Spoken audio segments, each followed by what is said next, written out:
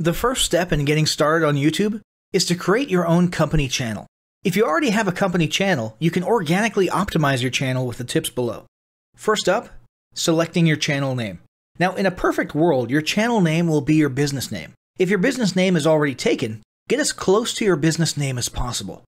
For example, you could abbreviate your name or add or delete identifiers such as Inc. If the product or service you're promoting is singular or in a clear niche, try to look for a creative, catchy, and memorable channel name. However, you must be forward thinking when you select your channel name. For example, if you expand your product lines in the future, would you have two separate channels or one cohesive channel? If appropriate, you could even use your first and last name as your channel name.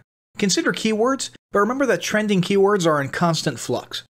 Currently, you can create up to 50 channels, but in most cases, it's more strategic and time efficient to have one channel with lots of videos and playlists, rather than several individual channels.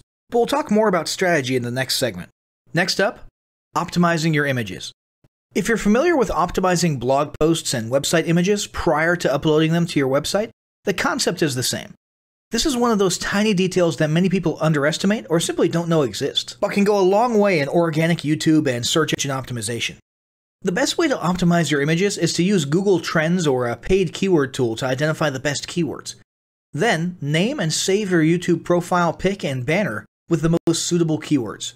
Even if you're using your company logo, you must first name and save it with your relevant keywords. Even if you maintain the same profile pic and banner, Update them both with new keywords on a quarterly basis. Next, it's tempting to simply copy and paste the About section of your website in YouTube or your other online platforms, sales sites, and social media channels.